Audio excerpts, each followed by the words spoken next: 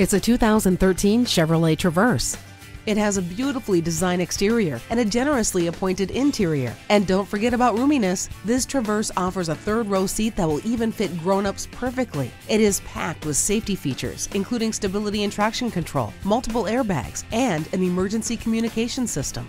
The remote engine start allows ignition from outside the vehicle. Hindsight is 2020 with the backup camera. You don't have to put your life on hold when you have Bluetooth. Bring the family in for a test drive of this roomy crossover today. At Don Hewlett Chevrolet Buick, we make it easy. We are conveniently located at 7601 South I 35 in Georgetown, Texas.